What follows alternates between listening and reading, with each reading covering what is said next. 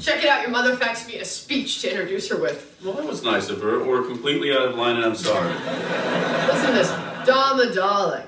I know you're terribly busy, so I jotted down a few ideas for your speech. Took the liberty of putting it in your vernacular. Did you know I had a vernacular? No.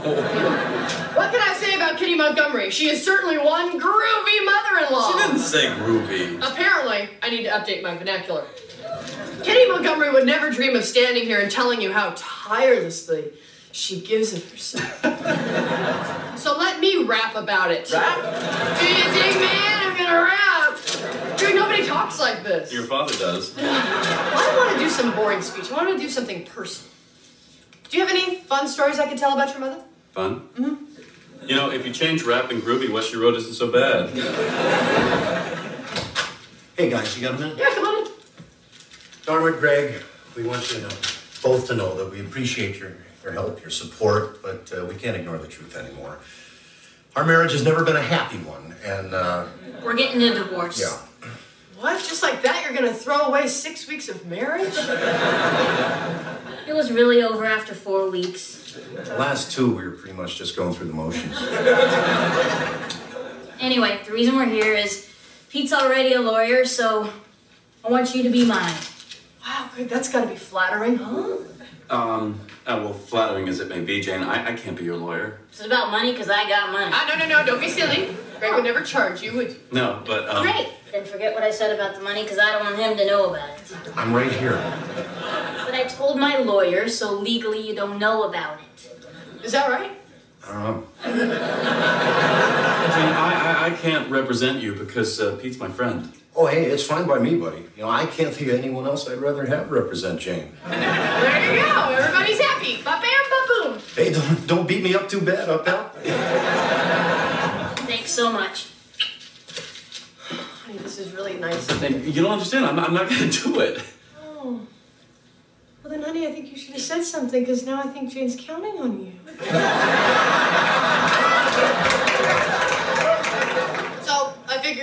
married for 32 years. You must have all kinds of fun stories I can tell about Kitty.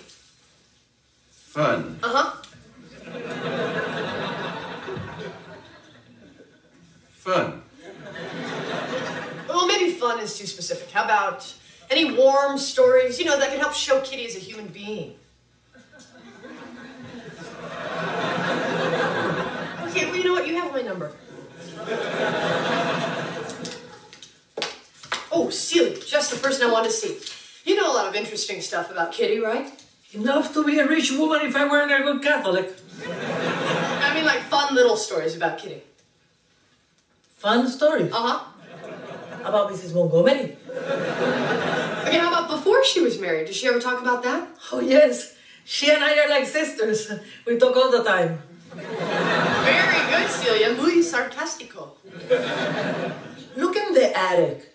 She's got a trunk full of old photographs and books. Oh, and maybe an old diary. I wouldn't know. But I would look in the left hand corner under the high school yearbooks. Gracias. Yeah, don't hurt yourself. Pete said I should sign these papers. What do you think? I, I think you should hire a lawyer. He said it's all standard stuff. Hire a lawyer. Why? Jane, please. Just give me an example.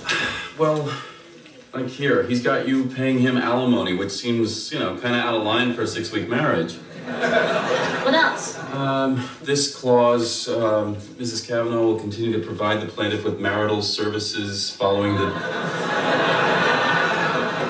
dissolution of the union. Do you, do you, you know what that means? Nope. Get a lawyer. Wait a minute. My best friend and my wife. I want a divorce. Hey, I'm one. You low life scum. What? My lawyer informs me you're trying to screw me here. It was a first draft. I took a shot. Take him for everything he's got. I want him fighting with his cat for the last little frisky. Thanks a lot, buddy.